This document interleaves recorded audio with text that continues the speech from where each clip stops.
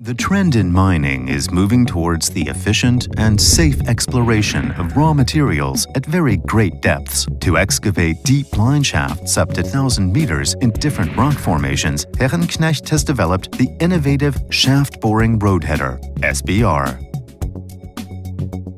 The machine concept is based on two field-proven Herrenknecht technologies, the vertical shaft sinking machine, VSM, for the bottom part, and an adaptation of classical hard rock TBM for the working decks. This allows for high sinking rates with maximum safety for personnel and shaft structure. The SBR has been completely designed, developed, and fully assembled in Germany.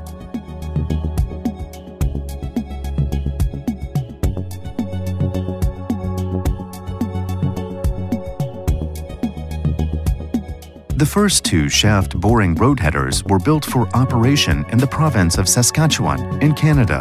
They are used to excavate two deep blind shafts, each with a planned depth of 1,000 meters for the Jansen project, operated by BHP Billiton. In the future, the mine will potentially be the world's biggest potash mine, with a lifetime of about 70 years. As safety is one of the core values of BHP Billiton, the mechanized shaft boring roadheader has been chosen to ensure the highest level of safety during shaft construction. To pass through the aquifer, the geology is frozen up to 700 meters. This will create a giant frozen seal with a stable geology. The complete system is suspended by ropes connected to shaft winches at the surface and lowered according to the sinking rates. At the shaft bottom, a specially designed cutting drum loosens the rock. The fully automated excavation sequence allows an excavation without disturbing the surrounding geology and with almost zero overbreak. The cutting process follows a star pattern. The soft and medium rock is excavated with standard tools. The flexibility of the boom allows an adaptation of the shaft diameter in regards to the geology. During the regular excavation, no personnel are required to access or work in the excavation chamber. This improves personnel safety tremendously.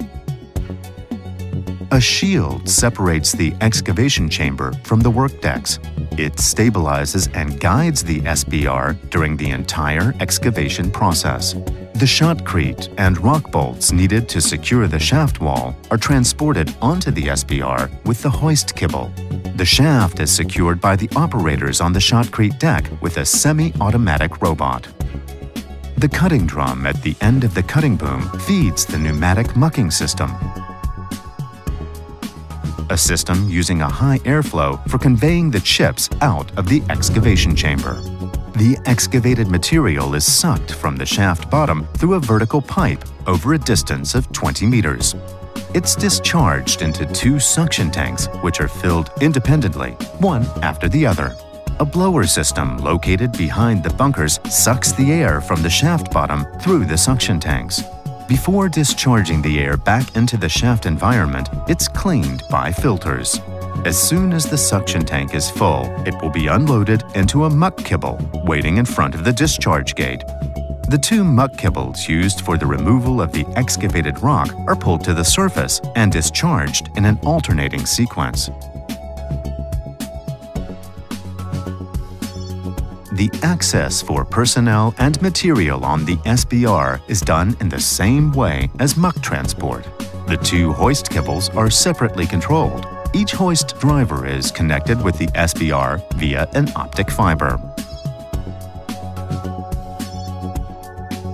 The kibble position is given in the SBR by sensors placed on the main stations. The logistics on the SBR are fully controlled to achieve optimum safety.